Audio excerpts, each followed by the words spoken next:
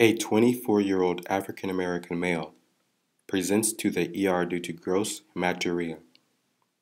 He indicates that he has noticed small blood clots in his urine.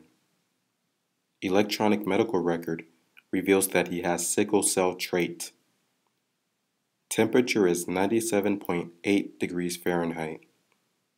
Blood pressure is 122 over 76 millimeters mercury. Heart rate is 99 beats per minute. Physical exam is insignificant. What is the most likely cause of his hematuria?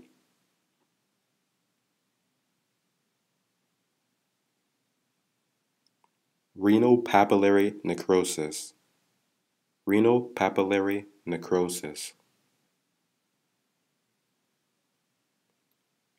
Renal papillary necrosis can cause hematuria.